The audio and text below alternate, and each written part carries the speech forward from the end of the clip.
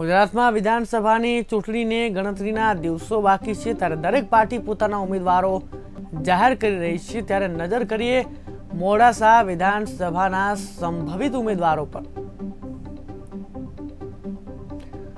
તો ભિલોડા વિધાનસભાના સંભવિત ઉમેદવારોની વાત કરીએ તો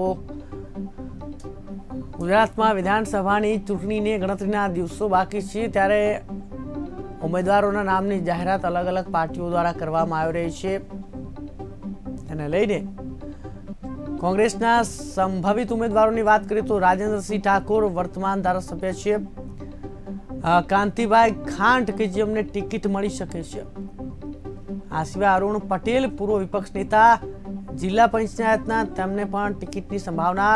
કમલેન્દ્રસિંહ ફુવાર, અરવલ્લી જિલ્લા કોંગ્રેસ પ્રમુખ છે તેઓ. સચિનભાઈ પટેલને પણ ટિકિટ મળવાની સંભાવનાઓ છે રાજેન્દ્રસિંહ ઠાકુર વર્તમાન ધારાસભ્ય છે. તેઓ તેમને ટિકિટ મળવાની સંભાવનાઓ, કાંતિભાઈ ખાંટ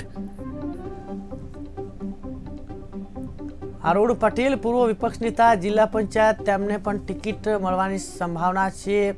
કમલેન્દ્રસિંહ પુવાર, અરવલ્લી જિલ્લા કોંગ્રેસ પ્રમુખને ટિકિટ મળી શકે છે. સચિનભાઈ પટેલને ટિકિટ મળવાની સંભાવનાઓ છે. રાજેન્દ્રસિંહ ઠાકોર, જેઓ વર્તમાન ધારાસભ્ય છે, તેમને ફરીવાર રિપીટ કરવામાં આવે તેવી સંભાવના કાંતિભાઈ ખાંટને ટિકિટ મળી શકે છે. અરુણ પટેલ વિપક્ષ નેતા, પૂર્વ વિપક્ષ નેતા, જિલ્લા પંચાયત. કમલેન્દ્રસિંહ પુવાર અરવલ્લી જિલ્લા કોંગ્રેસ પ્રમુખ.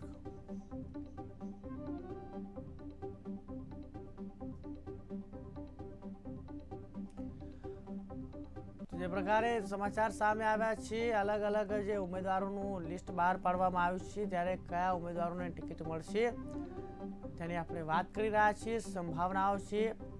ખાસ કરીને ગુજરાતની વિધાનસભાની ચૂંટણીને લઈને એક પ્રકારે તમામ રાજકીય પક્ષો હવે ઉમેદવારોની જાહેરાત કરી રહ્યા છે.